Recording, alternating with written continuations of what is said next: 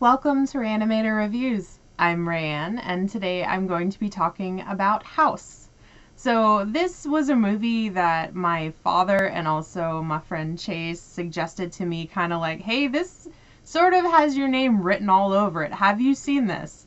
And unfortunately, at the time, I had not, but after it being recommended two times, I had to see it. So I did order it off Amazon and got the Criterion Collection copy of it right here. It was, I think, like 20 something, probably like 23. Not bad. I know that there are special features on here that I have not watched yet, just because at the time I watched it, my vision was pretty much just going straight down, and I was really lucky that I could still read subtitles at the time. So, the movie opens up with seven friends that are in school about to go on their summer break, and they're all discussing what they're going to do. And the one girl's really excited that her dad's going to take her, you know, off to a nice vacation, and everyone else is going to go hang out with a teacher at a training camp, which is kind of weird because they're all like really into this teacher, like really into this teacher.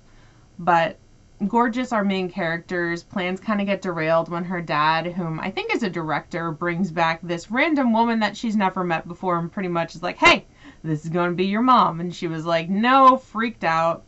Her mom had passed away and she hadn't seen her aunt, I think, in at least eight years. The last time she saw her was at her grandmother's funeral.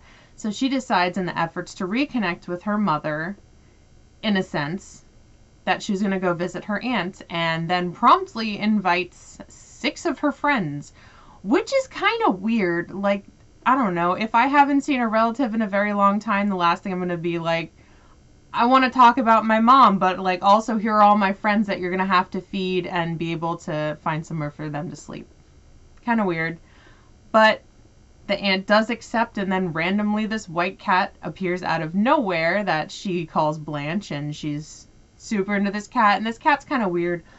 All cats are kind of weird, but this one especially. There seems like there's something supernatural to her, perhaps.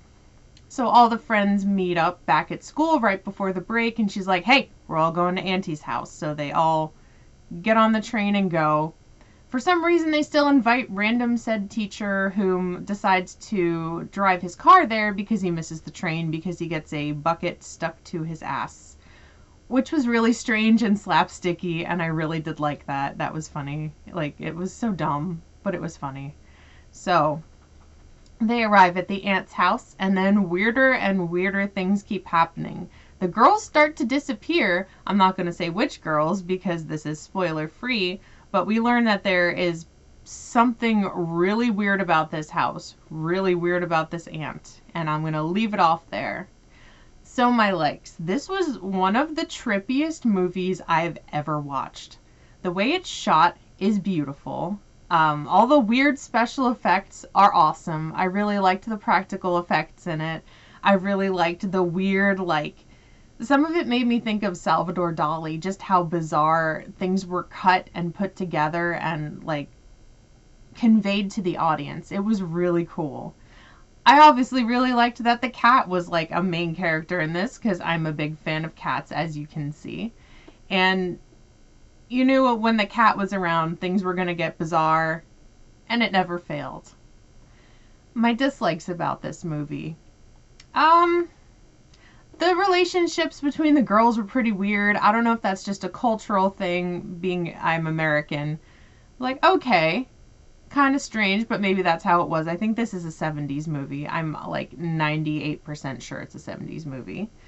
Can't check that right now because I can't see, but um, some of the music choices were strange. But to add a like to that, there was a ongoing theme that would play throughout the movie that reminded you that this is a horror movie and when you hear this music some weird stuff is going to happen. So overall, I really did enjoy this movie. This was awesome. Everyone that was, you know, saying that it had my MO all over it, you were right.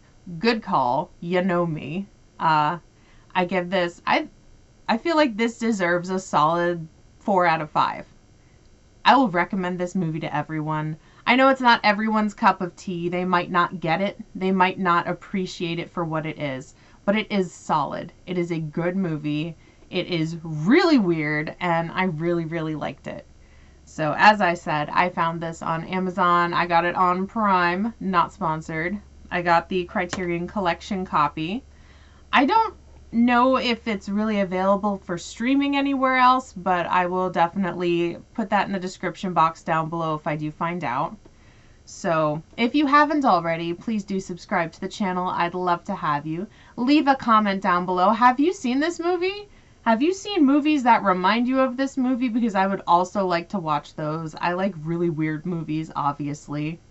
If you're here, you know that, hopefully.